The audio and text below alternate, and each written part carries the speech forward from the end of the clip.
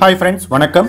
Welcome back to Tamil Mithran Apollo மருத்துவமனை CCU வார்டுக்கு அருகே தென்னை மரங்கள் கிடையாது அப்படின்னும் ஜன்னலுக்கு திரைச்சீலைகள் உண்டு அப்படின்னும் ஜெயலலிதா வீடியோ போலியானது அப்படின்னு திமுக செய்தி தொடர்பாளரும் வழக்கறிஞருமான கே எஸ் ராதாகிருஷ்ணன் சந்தேகம் எழுப்பியிருக்காரு.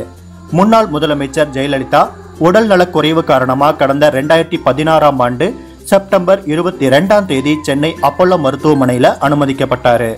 மருத்துவமனையில் அனுமதிக்கப்பட்ட ஜெயலலிதாவுக்கு லண்டன் டாக்டர்கள் டெல்லி எய்ம்ஸ் டாக்டர்கள் அப்பல்லோ டாக்டர்கள் அப்படின்னு பலர் சிகிச்சை கொடுத்தாங்க. 75 ஐந்து நாட்கள் சிகிச்சை பெற்று வந்த ஜெயலலிதா சிகிச்சை பலனின்றி ரெண்டாயிரத்தி பதினாறாம் ஆண்டு டிசம்பர் ஐந்தாம் தேதி உயிரிழந்தார்.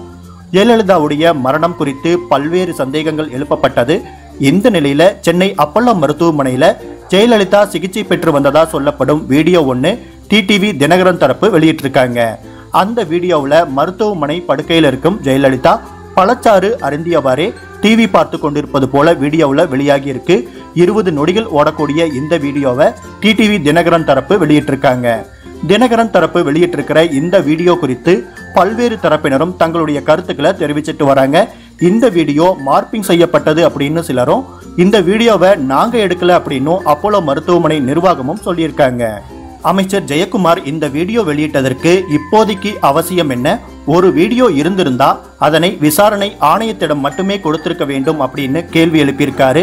வெற்றிவேல் வெளியிட்ட இந்த வீடியோ குறித்து திமுக செய்தி தொடர்பாளரும் மூத்த வழக்கறிஞருமான கே எஸ் ராதாகிருஷ்ணன் ஜெயலலிதா அப்போலோவில் அனுமதிக்கப்பட்டு சிகிச்சை அளிக்கப்பட்ட போது பதிவு செய்யப்பட்ட காணொளி காட்சி ஊடகத்தில் உலா வருவதைக் கண்டேன்.